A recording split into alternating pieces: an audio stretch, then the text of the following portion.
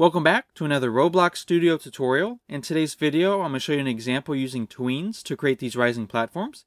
And we're going to put all these parts inside of a single folder with a single script to make everything super easy. Alright, so let's go ahead and dive in and see how we can do this in Roblox Studio.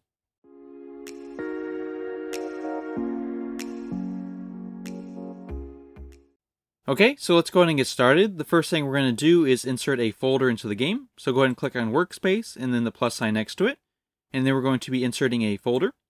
After we do that, we're going to be creating our platform parts. So I'm just going to keep things simple and use a cylinder. Once you have the first part styled, then you're going to go ahead and add it to the folder by clicking and dragging. We're going to start with just one part, and once we see that it's working, we're going to add the other parts. So what we're going to do is add a script inside this folder. First, we're going to make a variable for the folder. So we'll say local folder, and that's going to be equal to script dot parent Next, we're going to be using a for loop to go through all the different objects in the folder and apply a tween to the parts. To do that, we're going to say for underscore comma, and then I'm going to say platform. This part is not super important. You can choose a different name for it as long as you're consistent throughout the script. After platform, I'm going to say in pairs. Inside the parentheses is going to be folder, colon, get children. So that's going to get all the objects inside the folder. What we're going to do with those objects is first check to make sure it's a part. We can check to see if it's a part by saying if, and then platform. So platform is going to stand for whichever object we're currently on. To see if it's a part, we're going to say colon is a. Inside the parentheses, I'm going to put base part. If it's a base part, then we're going to create a tween and apply it to that part. We're going to start with the tween info, so we'll say local, and then tween info and that's going to be equal to tween info dot new. To be able to use tweens, we need to create a variable for the tween service. So up top here, we'll say local, and then tween service. And that's going to be equal to game, colon, get service. Inside the parentheses, we're going to put tween service. So back down here now, we're going to put parentheses, and then drop down a line. The first property is going to be the time, I'm actually going to set this to a random time by saying math dot random.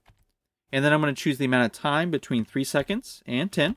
And what that's going to do for us is going to stagger the platform so they're not all rising and falling at the same time. After that property, we're going to set the easing style. So that's going to be enum dot easing style. I'm just going to keep it a consistent speed by saying linear. Next, we're going to set the easing direction. So that's going to be enum dot easing direction. For that one, I'm going to choose out. To make this repeat forever, I'm going to use negative 1 for the repeat count. For reverse, I'm going to say true. And then for delay time, I'm going to say 0. Okay, after we create the tween info, we're going to create the tween itself. So we'll say local tween, and it's going to be equal to tween service, colon create. The first part is the object we want to tween, so that's going to be platform. After that, we're going to pass the tween info. So that one should match our variable name up here. So these two should match. And finally, the property that we're going to be changing, and that's going to be the position. And we're going to set that equal to the original position. So that's going to be platform dot position. And then we're going to add a vector to that. So we're going to say plus and then vector 3 dot new and the part that we want to change is the vertical part, so that's going to be 0.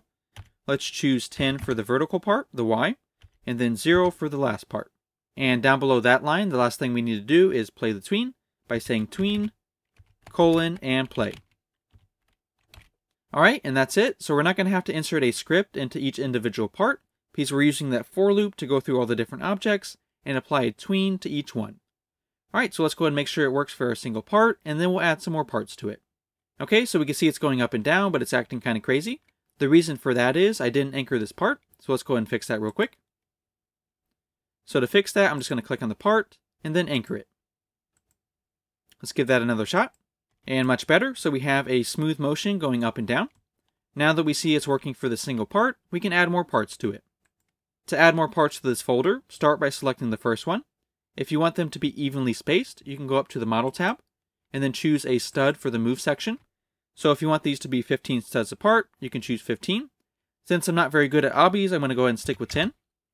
Once you have it set for whatever you want the move value to be, go ahead and create a copy of this part by using Control D, and then you can move them, and it automatically spaces them out. So to create another part, I'm just going to do Control D again, and then drag it over. And you can do this for however many parts you want.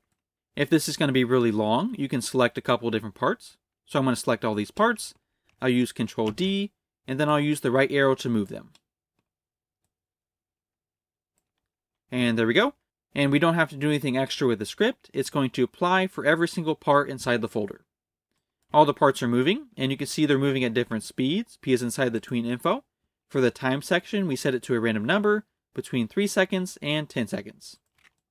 Alright, so that's going to be it for this video. I hope you enjoyed, and stay tuned for the next one.